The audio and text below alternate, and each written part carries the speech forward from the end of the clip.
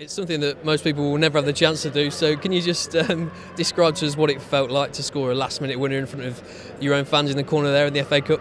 Yeah, it was massive. You know, especially um, in front of our own fans. You know, they were absolutely unbelievable today, and you know they, they sang all throughout the game. So you know, it was almost like payback to those fans that travelled all this way and, and sang the whole game. So you know, I was a bit emotional when I when I scored and celebrated with them, and uh, you know, it just felt amazing. It's been an incredible season for you so far, Jeff. How much are you, are you enjoying it, and how much do you feel you've you've progressed?